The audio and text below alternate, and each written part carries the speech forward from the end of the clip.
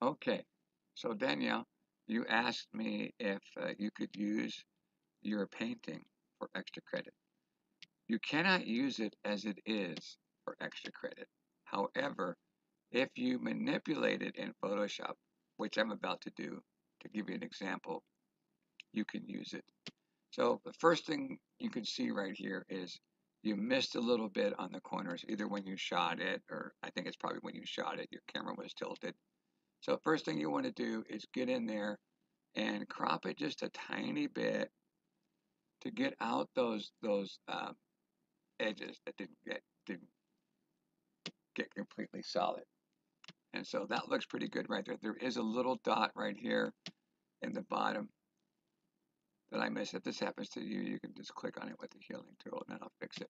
Now, the next thing I want you to do is go to Image Adjustments. We need to get some more color in this thing. So you're going to go down to Invert. Now, the colors are muted. The next step is this. Image Adjustments. Use Saturation. And now change the saturation so it's all the way up to bring out some colors, more colors in your painting.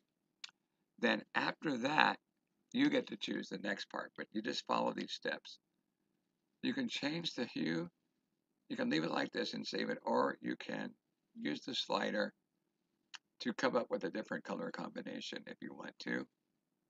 Although I kind of like this default one the best. But then you can click OK.